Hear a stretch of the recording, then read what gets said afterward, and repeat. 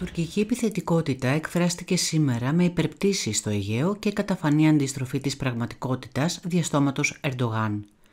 Ζεύγος τουρκικών F-16 πέταξε στις 15.22 πάνω από Ινούσες και Παναγιά στα 32.000 πόδια, ενώ το ίδιο ζευγάρι τουρκικών μαχητικών πέταξε στις 15.51 πάνω από την νησίδα Ζουράφα στα 31.000 πόδια.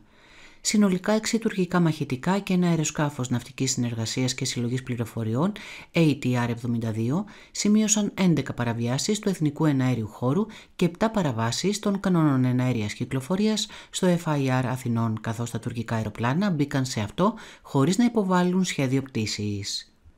Από την αρχή του έτους, οι Τούρκοι έχουν ήδη πραγματοποιήσει 535 παραβιάσεις του εθνικού εναέριου χώρου, 16 υπερπτήσεις, ενώ οι αερομαχίες έχουν φτάσει αισίως στις 30. Ο Νίκος Δένδιας έστειλε επιστολή στον Τζόσεπ Μπορέλ αναφορικά με την πρόσφατη παράνομη δραστηριότητα τουρκικών αλλιευτικών στο Φαρμακονήσι, με διπλωματικές πηγές να τονίζουν πως ο Έλληνας Υπουργός επεσήμανε τον κίνδυνο ατυχήματος.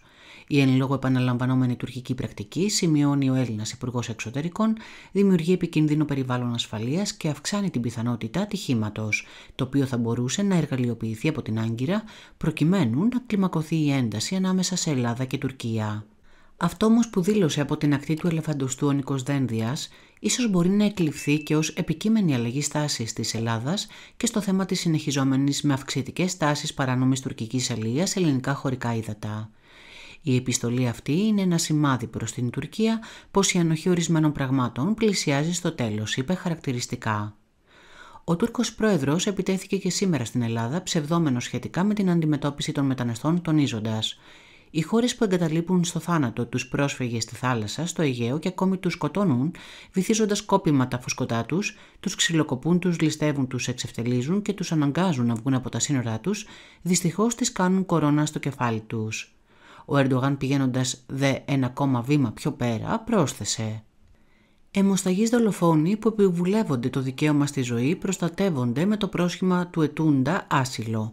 Σήμερα ορισμένες χώρες με τις οποίες είμαστε μαζί στο ΝΑΤΟ, στο Συμβούλιο της Ευρώπης ή υπό την αιγίδα του Οργανισμού Ηνωμένων Εθνών έχουν μετατραπεί σε καταφύγιο κακοποιών που διαφεύγουν της τουρκικής δικαιοσύνης.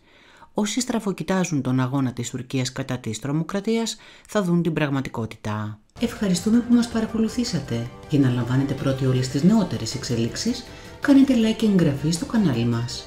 Μην ξεχνάτε να μας κάνετε σχόλια με την άποψή σας.